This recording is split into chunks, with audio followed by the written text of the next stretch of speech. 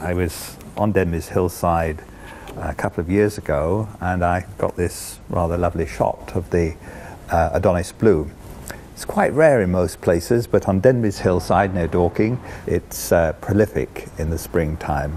Not only is it a very beautiful butterfly, but also it has uh, particular scientific interest for, for, for optics because the blue color it has isn't generated by chemicals, by dyes. It, it's caused by the structure of the wings. There's a microstructure in the wings which diffracts light, and it just diffracts the blue light, which is what produces that very intense blue.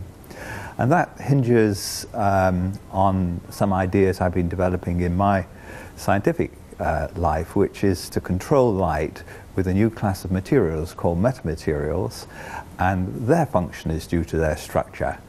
But the butterfly got there first.